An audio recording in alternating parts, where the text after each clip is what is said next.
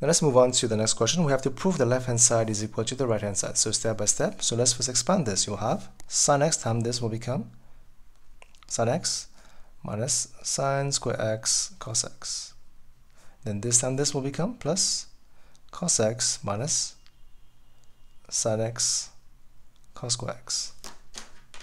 So let's see how can we uh, simplify and see what will that lead us to.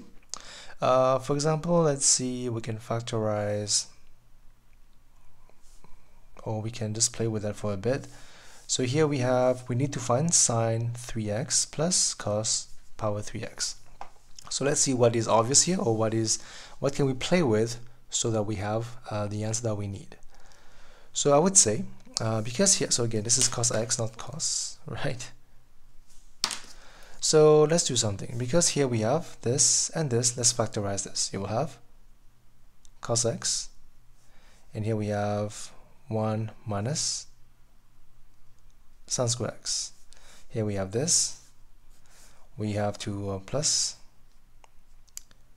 sine x. Here you will have 1 minus cos square x. Right, so now we realize something happens here.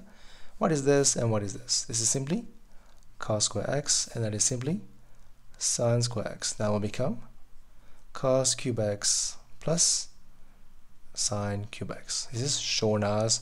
Same thing, right? That makes sense. Now for part 2, we have to solve this equation equal to this. Again, this is the same thing as this. We understand that this is equal to this, so we can take this and put this here.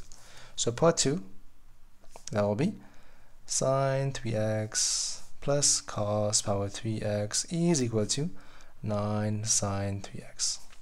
So simplify, send this over here or this over here um, oh this over here better. So that will be cos 3x is equal to 8 sine 3x now whenever you have sine and cos in the same equation what do we do? We divide by cos.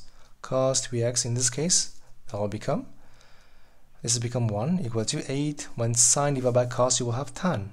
Tan power 3x so tan power 3x as a subject now will be 1 over 8 now we understand tan this will be cubic root 1 over 8 that will be 1 over 2 so tan x is equal to 1 over 2 now we can see it is a positive value. So according to the quadrants ASTC it will be in the first quadrant and in the third quadrant. This is simply your angle x and that will be 180 plus x. So let's find that value.